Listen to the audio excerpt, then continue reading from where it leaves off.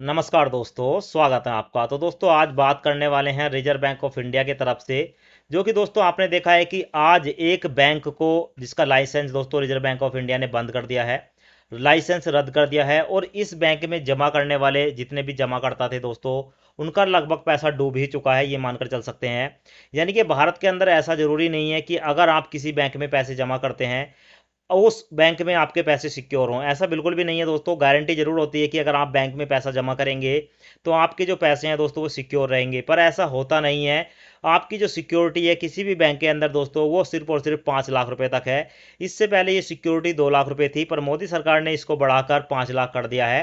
यानी कि कुछ ही सालों में दोस्तों आपने देखा है कि काफ़ी ज़्यादा बैंक जो हैं लोन देने की कंडीशन हो या कोई दूसरी कंडीशन हो, या अपने मैनेजमेंट की खातिर जिनके मैनेजमेंट अच्छे नहीं होते हैं, या दोस्तों ज़्यादा लोन देना या बैंकों का पैसा लेकर ऐसे बिजनेसमैन देखे हैं जो कि पैसा लेकर चले जाते हैं और उस जगह भी बैंकों का पैसा डूब जाता है।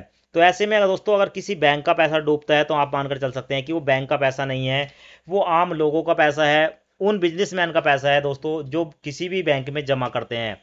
ये ज़रूरी नहीं है कि आपका पैसा स्टेट बैंक ऑफ़ इंडिया में है, पीएनबी में है, यूनियन बैंक में है, आईसीआईसीआई बैंक में है या एचडीएफसी बैंक में है। ये ज़रूरी नहीं है कि ये बैंक सिक्योर हैं, पर दोस्तों, सिक्योरिटी की गारंटी मैक्सिमम बैंकों में होती है, इसीलिए बैंकों में पैसा जमा किया जाता है। और बैंकों पर दोस्तों, आरबीआई या भारत सरकार की निगरानी भी रहती है। अब बात करेंगे दोस्तों, अभी जो कि एक नई खबर देखने को मिली है, जहाँ पर एक बैंक का लाइसेंस इसलिए रद्द कर दिया क्योंकि बैंक के पास बिज़नेस करने के लिए पर्याप्त पैसे नहीं थे। अब दोस्तों, बैंक के पास पर्याप्त पैसे नहीं थे क्योंकि दोस्तों, हर एक बैंक का अपना मैनेजमेंट होता है, अपना सिस्टम होता है। बैंक के कर्मचारी होते हैं तो सभी को सैलरी देनी होती है। आखिरकार ये सैलरी कहाँ से निकलती है? सबसे बड़ी बात है तो बैंकों में दोस्तों, हम लोग, आप लोग पैसा जमा करते हैं और ऊपर से पैसे जमा करने के बाद बैंक हमें ब्याज देता है इंटरेस्ट देता है।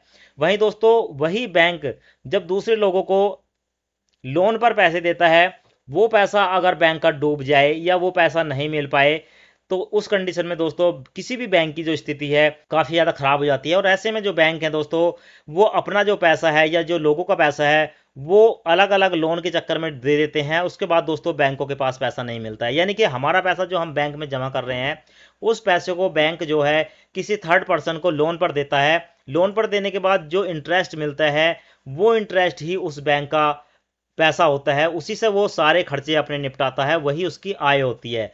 ऐसे में दोस्तों अगर किसी बैंक के साथ कोई दुर्घटना घट जाए या बैंक का पैसा डूब जाए दोस्तों तो ऐसे में जो जमा करते हैं, उनका पैसा भी डूबा हुआ माना जाता है। ऐसा ही देखने को मिला है दोस्तों, यहाँ पर रिज़र्व बैंक ने साफ़ साफ़ कह दिया है कि ये बैंक अब बिज़नेस नहीं करेगा, बैंक के पास पैसे नहीं है। अब जो जितने भी जमा करते हैं, उनको पाँच लाख रुपए तक इस बैंक से दिए जाएँगे। अब दोस्तों, कहने का मतलब ये है, अगर आपका एक करोड़ रुपया है आपका एक हज़ार करोड़ रुपया है, आपके दस लाख हैं, आपके पचास लाख हैं, जितने मर्ज़ी पैसे हैं आपके पाँच लाख से ऊपर तो आपको पाँच लाख रुपए ही इस बैंक की तरफ़ से दिए जाएँगे। दोस्तों, ये पैसे क्यों दिए जाते हैं? यहाँ पर बैंकों में जो पैसा जमा होता है, उसका भी एक इंश्योरेंस होता है। दोस्तों, एक संस्था है सी यानी कि deposit insurance and credit guarantee corporation, जिसके तहत बैंकों में जमा करने के बाद जो जमा करते हैं, उनको पाँच लाख रुपए तक की सिक्योरिटी मिल जाती है। तो इसी तरह दोस्तों, इस संस्था से उन लोगों का, जिन्होंने बैंकों में पैसा जमा किया है, और वो पैसा अगर उनका पाँच लाख रुपए से ऊपर है तो पाँच लाख तक का रिफंड जो किया जाएगा। ऐसा बिल्कुल भी नहीं है कि किसी बैंक में किसी व्यक्ति ने दस लाख रुपए जमा कर रखे हैं तो उसको पाँच लाख मिलेंगे, और एक करोड़ रुपए जमा कर रखे हैं तो उसको पाँच लाख रुपए से ऊपर मिलेंगे। बिल्कुल भी नहीं। यहाँ पर फिक्स है कि पाँच लाख से ऊपर अगर किसी का जमा है तो पाँच लाख रुपए तक का क्लेम यहाँ पर दिया जाएगा दोस्तों। तो बैंक के पास पहले से पैसे नहीं है और अगर किसी के पाँच लाख रुपए से कम है तो जो भी रेसो होता होगा दोस्तों बैंक की तरफ़ से, उस रेसो के हिसाब से भी उसको पैसा दिया जाएगा या नहीं दिया जाएगा, ये डिपेंड करता है दोस्तों डी आई सी जी सी के ऊपर कि कितना पैसा किसको मिलेगा।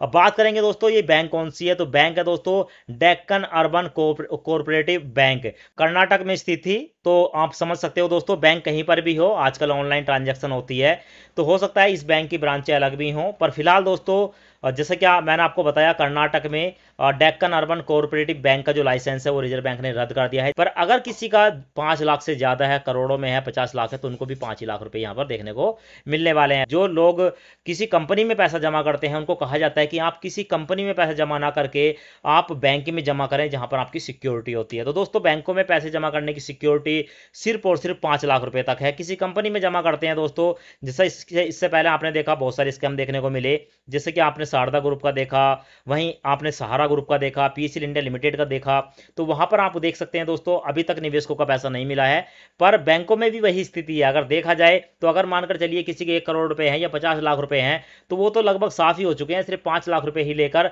अब उनको क्या करना है। यानी कि बहुत छोटी सी अमाउंट है जो कि उनको अब दी जाएगी। तो दोस्तों, आशा करते हैं ये वीडियो आपको पसंद आई होगी। अगर आपको वीडियो पसंद आई हो तो वीडियो को लाइक करके चैनल को सब्सक्राइब ज़रूर करें। धन्यवाद।